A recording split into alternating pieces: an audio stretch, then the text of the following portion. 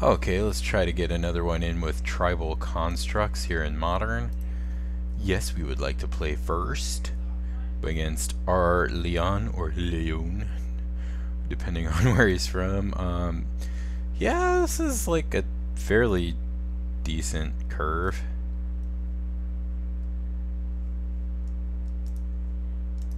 Um, this allows us to attack for a whole bunch on turn 2, 5 if we wanted to. But um, we could also just play a Apocryphite. I'm going to base that on if we draw an Aether Vial. We do not. So, since we have not drawn this, I will just cast the Apocryphite, which is fine.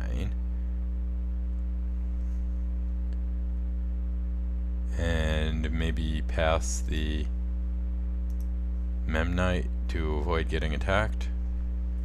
Yep. Smelled that one coming. This is good. Gets us to, we could like uh, play Hangarback on 2 next turn. You know, his plan only saves him a couple life, really, because, I mean, it's not like we don't have another creature and we have these, these Mutavaults, so... Jungle Shrine. Okay, some kind of a Naya deck. That's cool. Good to see Trilands doing some work in Modern. Okay.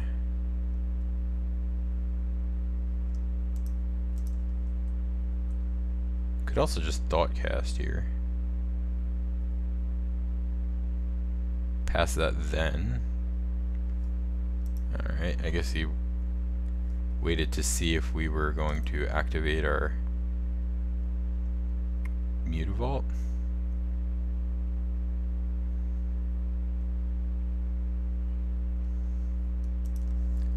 So now that he's used two paths, he's less likely to have another way to exile the Hangarback, so makes it better And now.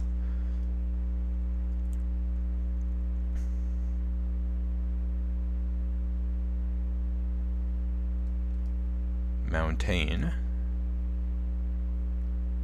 Woolly Thoctar, do it, man. Sensei Golden Tail. WTF is this?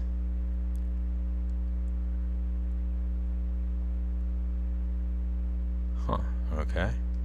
It makes things have Bushido. That's cool.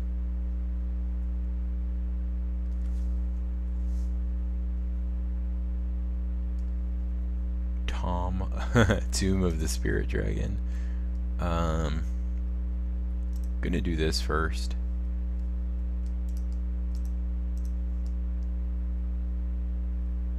Divination, back basically. Okay, into another vault and an Aether Vial. Play Aether Vial. And I think I'm going to attack because the worst thing that happens is he trades off and we get in 4 damage. If he blocks Hangarback, we can just get it back anyway. I have 3 Mutavaults, so not really terribly worried about losing one. Okay. No blocks is a little surprising. Honor of the Pure. Does make him able to eat something. Was this another white creature? Okay, so this is another guy like that, okay.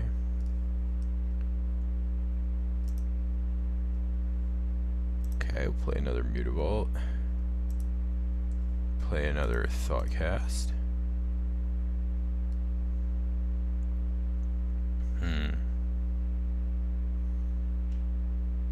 Could Ensoul my Aether Vial. Doesn't seem to be doing much else. And I have another Aether Vial in my hand, so I think I'm fine with that.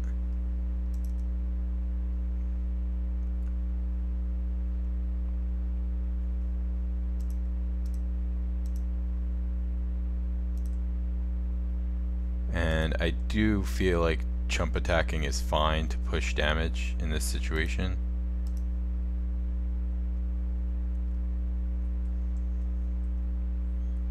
If he blocks, you know, he's going to be, if he doesn't block this thing, he's going to be taking a lot, so, alright, that's fine. Blocking Hangarback is a shock. Definitely should have blocked this. That was really, I think, a bizarre idea. Why give me flying attackers?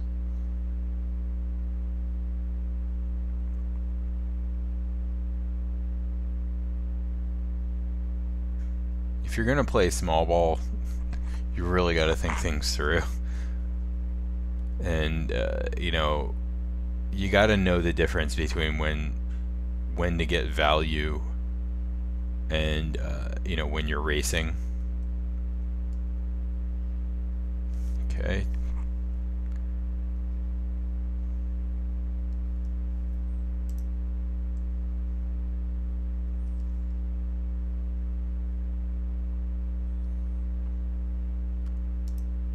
I could also upkeep put Hangarback on top. But I don't want to do that because I'd rather draw cranial plating. Pocrocyte.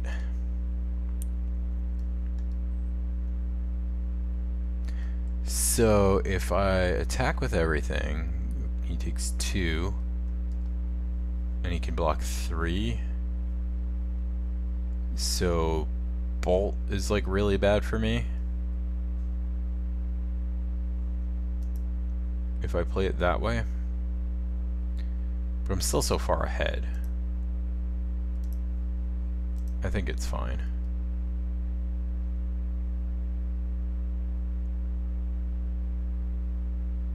What just happened?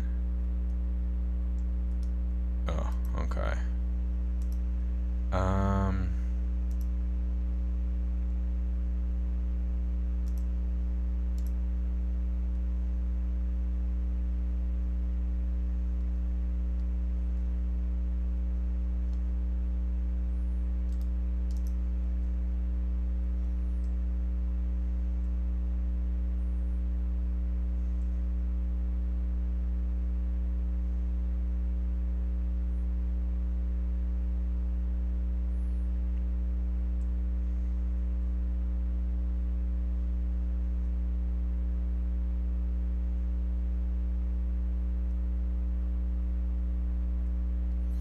Okay, takes four, goes to one.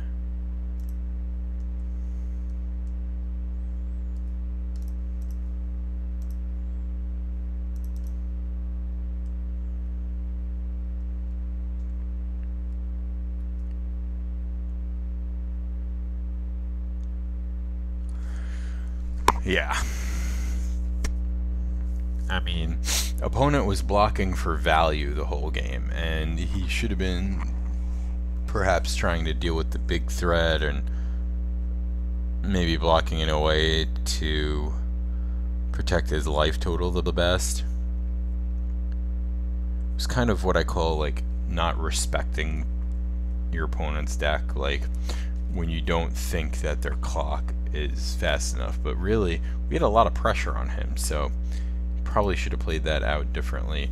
Now here, I imagine we're going to get completely hosed by a sideboard. Um, and we don't have one, so I don't even really want to play out another game, but we'll do it. I'll do it for y'all.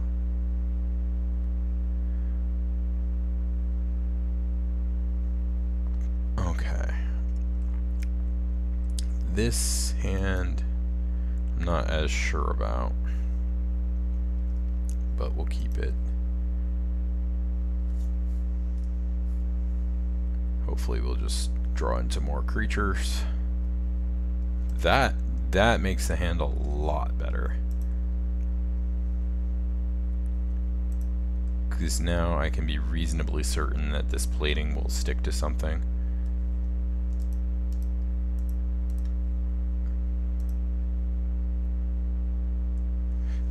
Um, technically I could have cast Vial and Vialed one of them in end of turn. So that was probably wrong because I gave him more information this way. But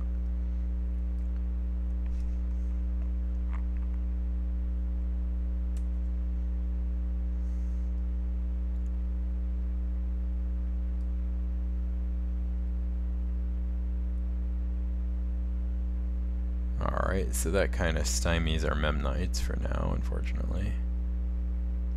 Hand would have been a lot better on the play.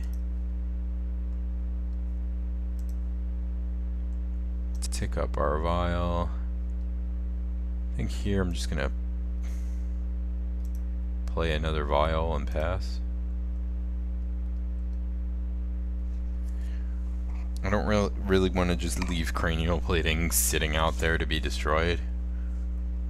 I'd rather wait till I can play it and equip it all in the same turn. It just makes it a lot better that way.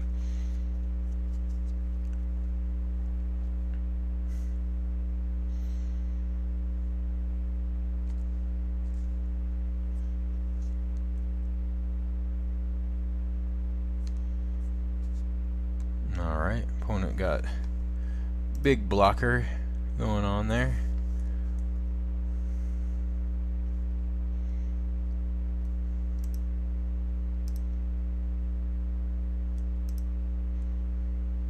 Okay, Apocryphite is nice. Um, so here, in order to use up my mana, I will play the plating kind of begrudgingly and pass back.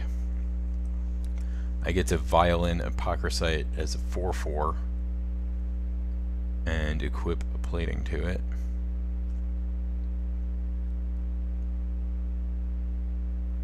O-ring on my plating probably. Could go for a vial here. Alright, no, that's fine.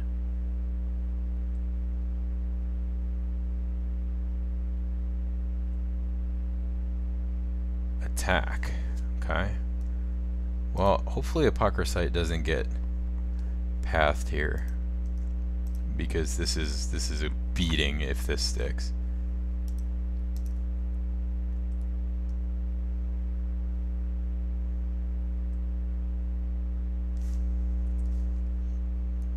Nice. Okay.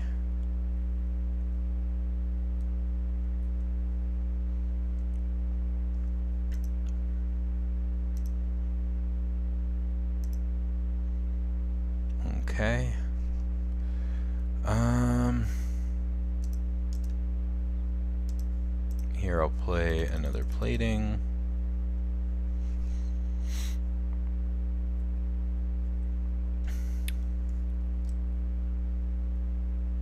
So if he blocks... Oh, he can't use the ability.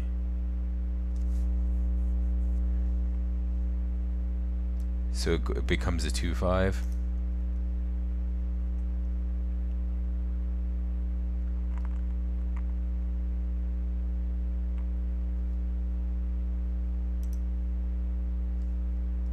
and then our chief pumps our Apocryphite to a 5-5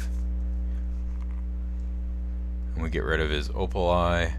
And now we're in really good shape